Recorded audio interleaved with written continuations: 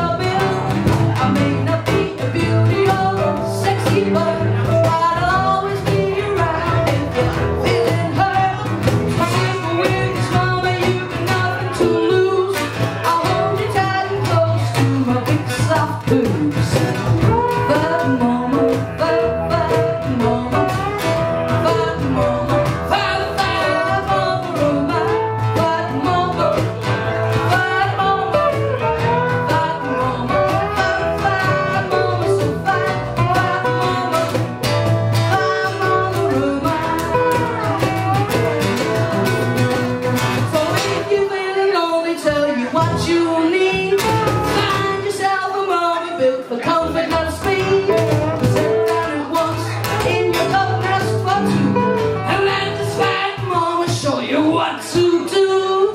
you still be very happy with your luxury deal. and just bounce once and the rest you free will.